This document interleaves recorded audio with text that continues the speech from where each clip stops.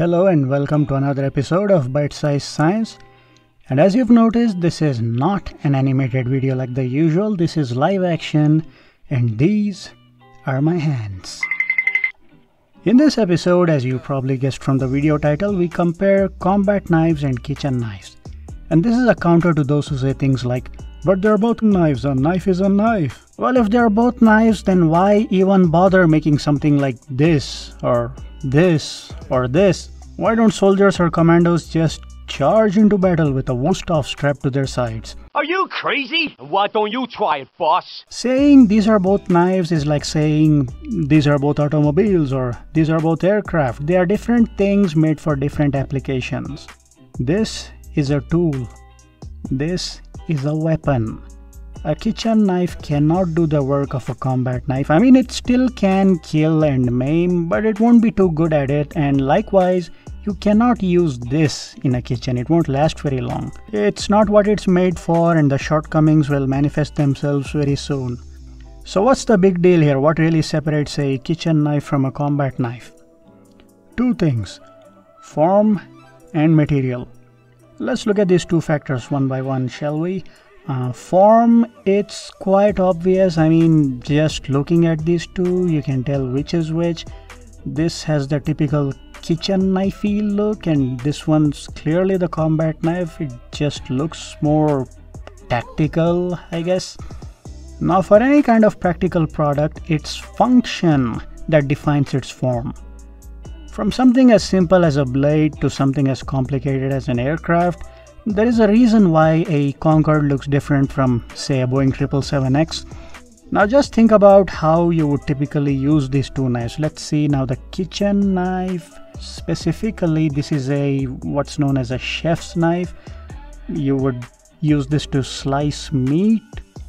You would chop vegetables you would maybe crush garlic cloves sometimes with this broad blade or try opening a lid or cut open a tin can, but for the most part you would limit your movements to slice or chop.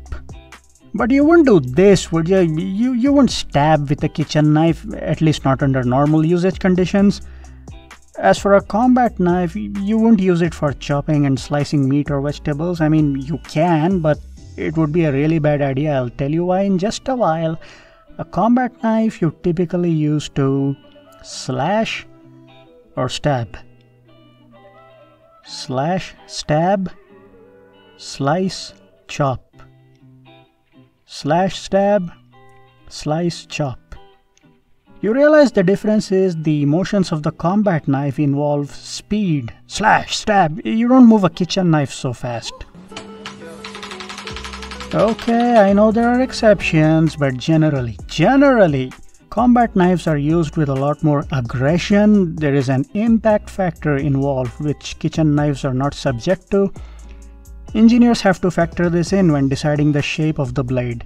The combat knives have to be able to withstand a lot of abuse, a lot of punishment, so they are shaped in a way that allows them to survive these beatings and more importantly for the user's hands to survive the rigors of combat like you'll notice the grips of combat knives are much better designed a lot more ergonomic. Maybe not so much in this particular very basic knife but combat knives in general they all have some sort of hand protection a guard of some sort to prevent your hand from slipping onto the blade and cutting yourself during a stabbing motion. Knife pro max xxls also known as swords, all have some sort of hand protection ranging from a simple katana tsuba to elaborate basket hilts on Portuguese rapiers. A quick Google search will show you pretty much all combat knives have this feature. Even this little card knife, let me just unfold this real quick, you see even this tiny little knife has some sort of hand protection.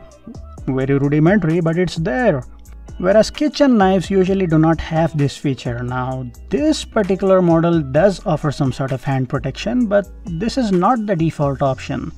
I had to specifically search for this kind of knife that had this sort of thick base.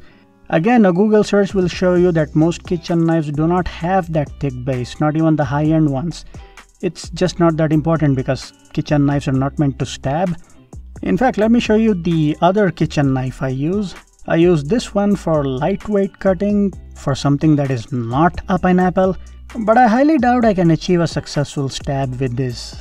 I don't think this will do much. I'm not gonna be winning any duels with this. You see the combat knife also has this little stub on top here, so extra protection. By the way, important safety tip, when stabbing you actually don't go around stabbing people because it's generally considered rude. You should see the dirty looks I get. But if stab you must, or if you're into fencing, sword fighting as a sport, don't do this. This, th this can really screw up your wrist. Reduce this angle, hold the weapon like this this is a more stable position, more in line with how your hand is designed to move, less chance of injury. It's safer, at least in the context of a stabbing, safer. But we are just talking about the handles so far. What about the blades themselves? Say you take this knife, remove this handle and put in a badass looking tactical handle in black. Would that make this a combat knife? No, it's not that simple. No, not even if you cut serrations and give it a combat knife shape because the material is wrong. That brings us to the second factor, blade material. And just like the form, the material is also decided by the function, the purpose. Kitchen knives are mostly made out of stainless steel for good rust and corrosion resistance, and combat knives out of carbon steel for sharpness and edge retention, this kind of used to be the rule, but these days, with advances in metallurgy, the lines are getting sort of blurred. And remember that when we say stainless steel and carbon steel, it's not just two materials, it's a whole family of materials, several subtypes, which is why I think most carbon steel versus stainless steel videos on YouTube don't make sense. I mean, you can't pitch a very high grade carbon steel against a cheap stainless steel and declare that the carbon is better. Plus, material isn't the only thing. There are other factors like heat treatment, hardness versus toughness, grain structure, finishing processes. But generally speaking, stainless steel doesn't hold an edge very well and is notoriously difficult to sharpen.